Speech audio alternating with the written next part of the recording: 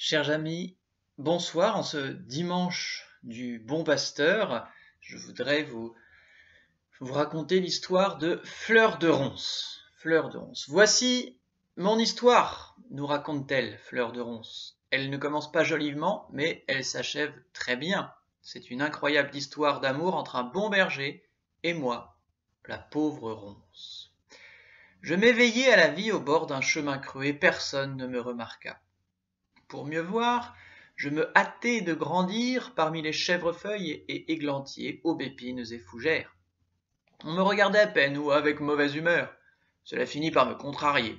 Et je décidai de rendre plus piquantes les épines qui parsemaient ma tige. Puis, assez grande et imposante, je cherchai un jour à m'étaler. J'inclinai ma tête jusqu'au sol et fis pousser mes racines à quelques mètres de mon pied. Bien m'en prit car je connus ainsi le berger, qui matin et soir menait paître ses brebis alentour. Ah, ma petite ronce, murmura-t-il, là, cela ne va plus. Tu vas nous gêner lorsque nous passerons par ici. Tu risques d'écorcher les pieds de mes bêtes.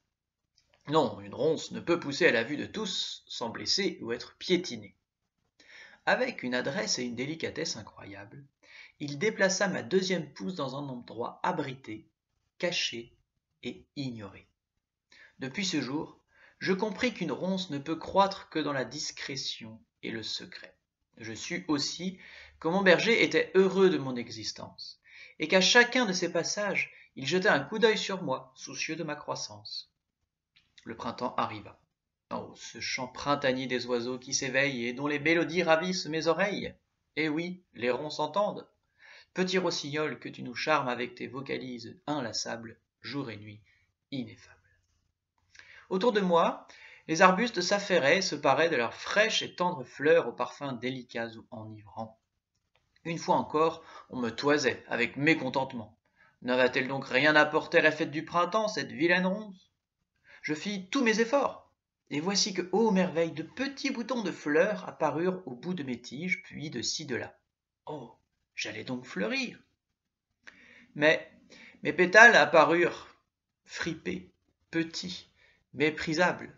Qui de vous a déjà pensé accueillir un bouquet de ronces? Oh, une ronce, maugréaient les passants contrariés. Inutile, laide, indésirable, blessante, envahissante, repoussante, pauvre de moi. Seul mon berger me souriait, veillait sur moi. Il attendait patiemment. Il arriva même qu'il m'arrosa durant l'été si chaud.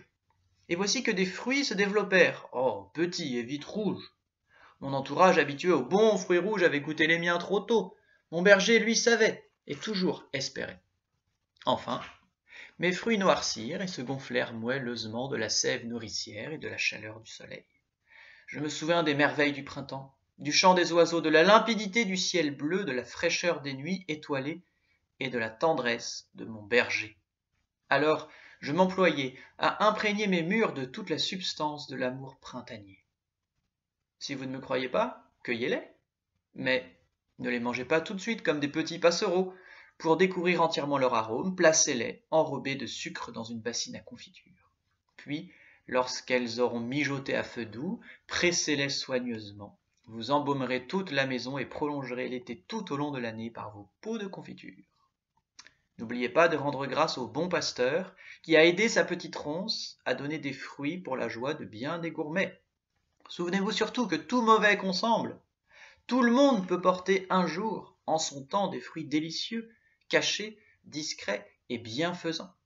Assistés à tout instant par le bon berger qui passe et repasse toujours, qui nous attend, car il nous aime toujours, lui. À bientôt.